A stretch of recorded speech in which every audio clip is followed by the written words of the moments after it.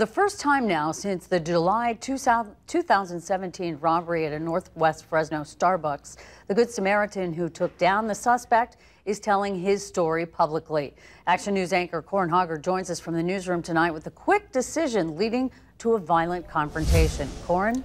Liz, police have honored Craig Jerry as a hero for foiling that robbery attempt, but the man he stopped is still fighting him and claiming he's the one who needed a hero.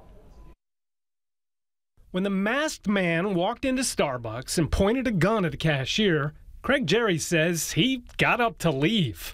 He barely moved before he changed his mind. I said to myself, I couldn't, I couldn't just go. I couldn't just leave. I needed to do something. And his something involved grabbing a chair, walking up to Ryan Flores, and bashing him with it. Jerry says he wanted to knock the guy down and disarm him. It didn't quite work. Flores lost his gun, which turned out to be a fake, and his mask, but not his footing, and he still had a knife. The two men brawled, and Jerry says he was scared it wouldn't end well. I'm just scared. I'm just scared. I just didn't want to. I didn't want to fight him. I didn't want to get shot. I just wanted him to stop. We're not allowed to show Jerry's face during his testimony, but he says Flores stabbed him in the neck.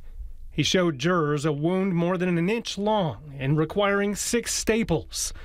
Jerry says he eventually got the knife and stabbed Flores a couple times before pushing him towards the exit.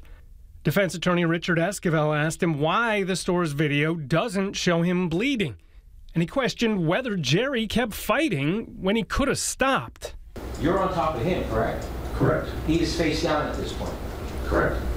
What's preventing you from backing away? His body was lifting up. There's nothing preventing me other than fear of my life. His body was lifting up, and I knew that if he got the knife again, he was going to stab me.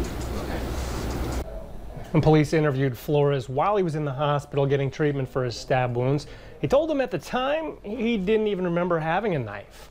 He's planning to testify tomorrow, and his mother has said he might sue Jerry. From the newsroom, Corin Hoggard, ABC 30 Action News.